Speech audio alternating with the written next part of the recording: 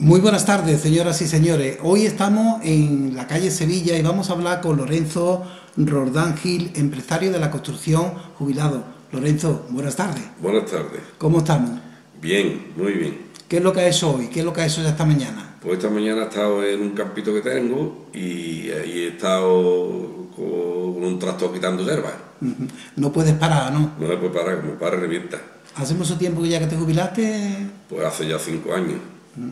Lorenzo, ¿cómo empezaste en este mundo de la construcción? Pues en este mundo de la construcción empecé a edad muy jovencito, con 11 años, por las necesidades de la época. Y ahí empecé a trabajar la construcción con mi padre y mi hermano, hasta el día de hoy.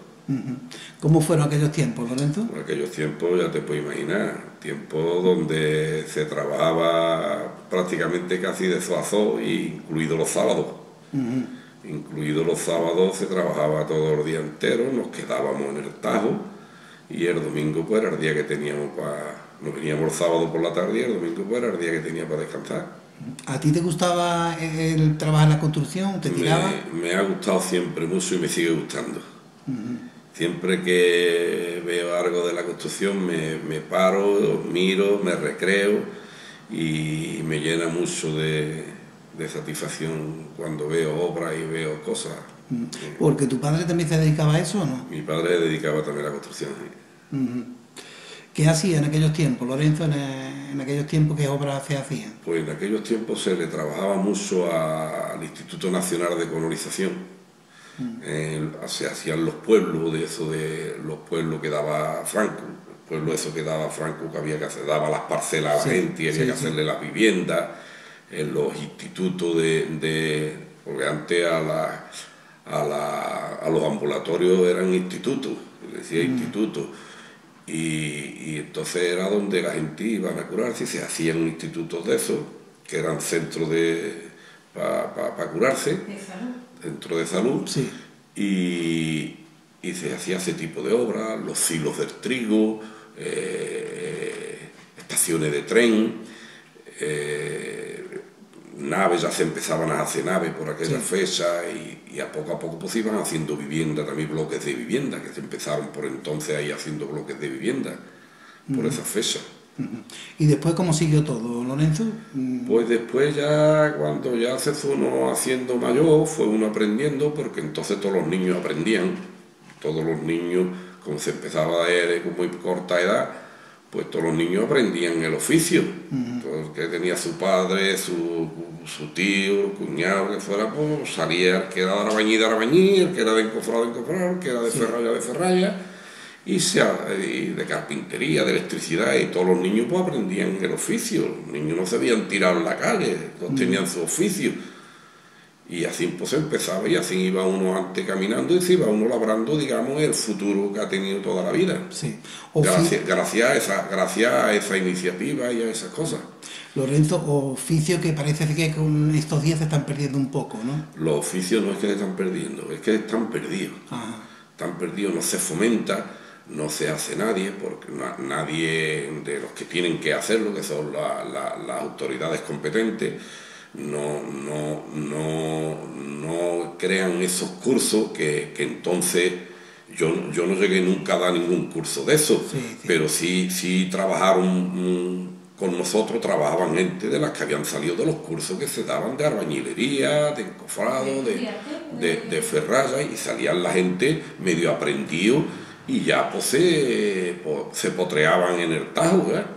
pero, pero, pero era una salida, era una salida que muchísima gente se hicieron oficiales ahí. Claro. Sí. Después creaste una empresa ya más mayor. Sí. Después ya, ya mm, ahí me fui, hicimos una empresita con mis hermanos Ajá. y entonces pues me surgió a mí una oportunidad con una empresa de Madrid y, y me fui de encargado a esa empresa. Ajá. Me fui de encargado yo a esa empresa, de mis hermanos, y me fui yo de encargado a esa empresa. Y he estado pues, recorriendo toda Andalucía y parte de Extremadura con esa empresa. Y he estado 20 años en ella, eh, he sido encargado general de la empresa esa. Y muy bien considerado en la empresa, con mucha autoridad en la empresa. Y todo lo que yo abría la boca era al instante. es decir, con mucho, mucha autoridad, mucho mando en esa empresa y, y el final de la empresa quitó la delegación de Sevilla y yo no me quise ir a Madrid. igual estaría por así. No me quise ir a Madrid y entonces pues hice yo una pequeña empresa de estructura con, con mi hijo, con mi hijo Raúl, y, así empezamos, porque los otros estaban, que el mayor estaba estudiando, y este como no quería colegio, pues a trabajar a la construcción. ¿Siempre ha tenido el apoyo de tu señora, de José Fiel? Sí, sí, siempre, siempre. Que el apoyo 100%, lo mismo de ella que de mis hijos. ¿Cuántos hijos tienes, Lorenzo? Cinco. Cinco. ¿Qué hacen ellos, tus hijos? Pues mis hijos, pues cada uno tiene su boquetito. Claro. Eh, el, mayor pues, tiene lo de Mancofra. Sí. Los otros dos tiene en, un principio trabajaban con Mancofra. Ahora ya ellos han hecho una empresita. Eh, han hecho ellos su propia empresa ya entre los tres y, la niña y Raúl pues, están en la tienda de Zoocierra. ¿Te encuentras orgulloso y satisfecho de lo que han hecho tus hijos, ¿verdad? y bueno, y que han elegido también la profesión tuya, ¿no? Ellos han elegido, claro, ellos por lo menos mm, directa o indirectamente eh, está relacionado con lo, con lo mío, con lo que yo he conocido siempre y con lo que ellos han mamado. Sí, sí, sí. Porque ellos lo han mamado, ellos han trabajado, aunque hayan estado estudiando tal y cual, pero los veranos ellos sacaban su estudio bien y el verano a trabajar la obra, a donde le cogiera, porque eh, los dos mayores estuvieron en Mérida con 16 ah, años. En, el, aquel verano de, mm, que tenían ya los 16 años para poder trabajar, pues en Mérida trabajando, me los llevé yo a Mérida y en Mérida estuvieron todo el verano trabajando. Y ellos siempre han trabajado Manuel Lorenzo de que tenía los 16 años, todos los veranos a trabajar hasta que terminó su carrera. Sí. ¿Alguna obra emblemática que haya hecho? Musa, Musa. Y que tú recuerdes. Musa, porque eh, eso es el colegio de Luis Braille, ese de la 11 que está justamente frente a la estación de Santa Justa, es el colegio más importante que tiene la 11. es eso la Consejería de Trabajo y Asuntos Sociales de, la Junta de Andalucía en Sevilla, en la, en la calle Hero de Toledo eh, hice también las viviendas del CSI de, Sevilla, eh, que están a la espalda de, Santa Justa, la estación de Santa Justa, 286 viviendas. En fin, he hecho muchas obras. En Mérida hice el edificio Roma 1 y Roma 2. He hecho muchas obras. Luego ya, yo como empresa, cuando ya no me quise ir a Madrid, pues yo hice mi empresita conmigo, como te he dicho antes, y luego hice, pues, hice obras muy importantes también, de, ya yo como empresario, hice, pero solo que hacía la estructura, estructura, las estructuras nada más. Hice 530 viviendas en, en Gerena, en ah, Sevilla. Sí, sí, sí. Eh, hice en la, en la Universidad de, de, Huelva, en el campo del Carmen, hice las universidades aquellas, las estructuras las hice yo, del masionario, de todo aquello las hice yo todas hice la piscina cubierta de huerva. Fíjate. Hice muchas obras, muchas obras, muchas obras, muchas obras. Lorenzo, ¿has pasado alguna vez y has recordado esa obra? Mm, el gusanillo me pica y cojo el coche y me voy a Sevilla. Y veo todo mi territorio y por donde yo me movía, ah, Todos los años voy una vez o dos, a ver por donde yo me movía y por donde teníamos la oficina, esto, lo otro, y me gusta, me, me, me pica y, lo necesito. Y voy, y voy. Sí. ¿Qué recuerdo tiene de los colegios? ¿Era buen estudiante tú o no cuando era pequeño? Yo, tú sabes, lo que había, yo... Yo era regular, como estudiante era regular, pero luego estudié, fíjate, luego estudié por correspondencia. Fíjate. Y, estudiaba técnico en construcciones, por correspondencia, lo hice. Sí, sí. ¿Qué, qué recuerdo, Eso era un sacrificio. ¿Qué recuerdo tiene de tus padres, Lorenzo, de tu padre tengo, y tu madre? Hombre, tengo te inculcaron algo, te ayudaron, pero bueno, no te emociona, ¿no? No, que no. Recordar también a las personas que ya no están, también nos sentimos. ¿Algún consejo que te diera tu padre, Lorenzo? Mi padre mucho. Mi mm. padre era un trabajador nato. Sí. Salió de la nada también, ¿no? De la nada. Porque entonces para que se fecha mi padre era un hombre que lo que hizo toda su vida fue trabajo, fue un buen padre. Mm. Y, y entonces, enseñando a nosotros. Claro, y había poco para, para salir adelante. Había poco para salir Muchos hermanos, ¿verdad? Muchos, muchos hermanos, nueve. Nueve. Y, nueve. entonces él, a sus hijos, los que él llevaba para adelante, que éramos los varones, pues a todos nos inculcó el oficio. Claro. Y todos nos la hemos buscado en, en el oficio que él nos enseñó. Ujú. ¿Las inquietudes que tú tenías de niño se han cumplido de mayor o, o te hubiese gustado hacer otra cosa? No, a mí se me ha cumplido todo lo que yo había deseado en la vida. Todo, todos mis pensamientos de niño y todo lo que yo había deseado en esta vida, todo lo he cumplido. Sí, sí. No se me ha quedado nada sin cumplir. Que ya como en tu casa y en tu zona vivía lo que es la construcción, pues eso es lo que se te metió en la cabeza para el día de mañana Sí, ser... sí, sí, yo esa satisfacción la tengo de que yo he cumplido con todos mis objetivos. ¿Qué consejo le das tú a tus hijos, Lorenzo? Pues yo lo mismo que me dio mi padre a mí. Yo desde, ya te digo que desde que mm, ya podían trabajar, trabajar con su seguridad social, con todas sus cosas, que era a los 16 años, ellos todos a trabajar, estudiaban y trabajaban en los veranos.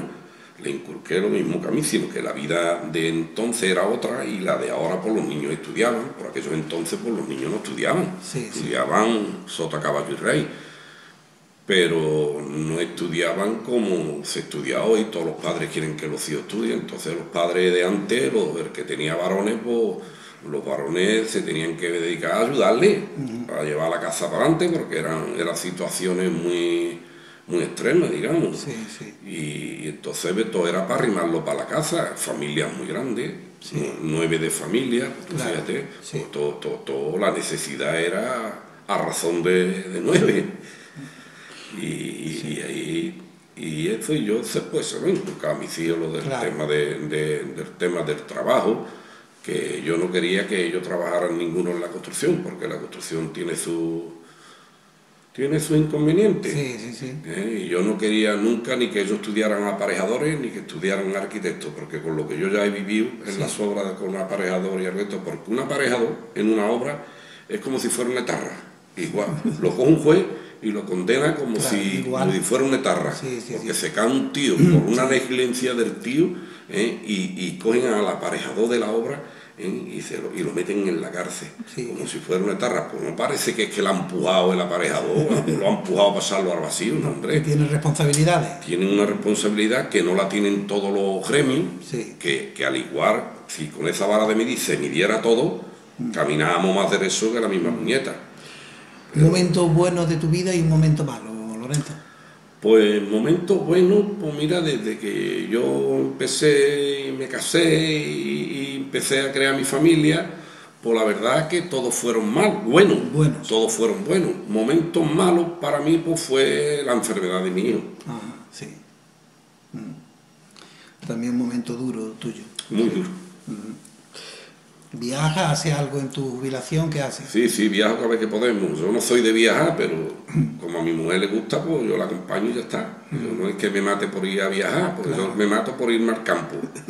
Pero por viajar no me mato, pero la tengo que acompañar. Claro que sí. Entonces, si voy donde ella dice, allí vamos, pues así voy yo. Claro. Habrá un sitio que no irá más. ¿Con dónde era? ¿París? ¿Francia? ¿Dónde fue? ¿Que fuiste de viaje? O a Francia no voy a más. Tú, tu Y señora. no me importaría, y no me importaría, fíjate, ver Disneyland ese, porque Claro, merece la pena. claro. Merece la pena ir a verlo.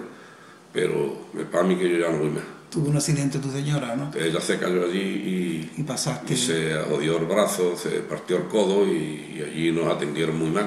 Ah, sí. Ya, ya eh, no nos atendieron como nosotros aquí en España atendemos a los franceses y atendemos a todo el que viene. La diferencia. Allí la dejaron 10 horas en, en- en- en el hospital sin mirarla a nadie ni nada. Fíjate. Ay, que fíjate, la experiencia que tengo. ¿Cuántos nietos tienes, Lorenzo? Oso. Ocho nietos. ¿Alguno hará lo del abuelo o no? Eh, yo me parece a mí que está complicado. Está complicado que, que ellos trabajen en la construcción, está complicado. Porque no hay nadie de los tíos trabajando en la construcción. Claro, sí. Ni los padres de, de ninguno trabajan, en, digamos, trabajan en la construcción. Pues esta gente lo que hacen es alquileres y, y venta de materiales. ¿Qué aficiones tiene, Lorenzo? Yo aficiones he tenido, siempre. Yo- Me ha gustado la cacería, me ha gustado tirar platos, me ha gustado la bicicleta, me ha gustado el fútbol porque he jugado, me ha gustado, he corrido siempre mucho. las motos, que siempre ha sido mi debilidad, las motos, porque gracias a Dios pues he tenido moto desde que tenía 16 años, 14 o 15 años ya yo tenía moto. Y he tenido motos buenas, motos grandes, ahora motos de estas modernas, he tenido una moto de las más modernas. En fin, me gustan mucho las motos y los coches, los deportes, los deportes en general me gustan todos. Te lo digo, como llevo una camiseta de Nike, yo digo, a este hombre le tiene que gustar deporte. No, no, yo deporte a diario, yo eso es lo que veo en la tele, yo no veo Telecinco ni nada de eso, yo veo deporte. bueno, Lorenzo, entonces termina una entrevista aquí en las redes sociales, no es larga, es cortita, pero bueno, hemos hablado un poquito. ¿Se te olvida algo que te hubiese gustado hablar? ¿Decía algo? No, yo creo que con lo que con la puntadita que hemos dado sido suficiente para, conocer a la persona un poquito. No suele hablar mucho en los medios ni nada, ¿no? No, yo no, no he sido persona, para mí todavía la gente me pregunta, ¿y tú en qué trabajas? ¿Tú en qué trabajas? Siempre he estado fuera pues, porque he estado siempre fuera, he estado 35 años en Sevilla. Sí, sí, sí. Eh, la, la, oficina en Sevilla hay 35 años allí. Sí, se te conoce como Loren, ¿o no? Ahí está.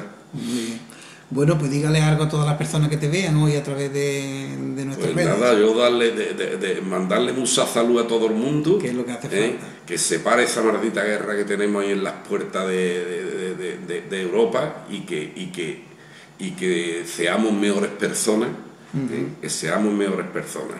Muy bien. Porque hace falta que seamos mejores personas que somos. Pues sí.